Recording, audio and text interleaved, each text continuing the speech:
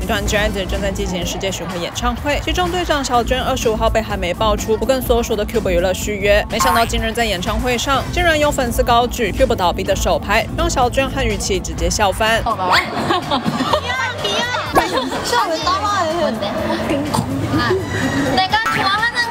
与其看见手牌后马上反应给小娟看，个性较为谨慎的小娟也忍不住笑出来。两人幽默互动，成为粉丝热烈讨论的话题。影片曝光后，有粉丝笑说：“这个反应不会说谎。”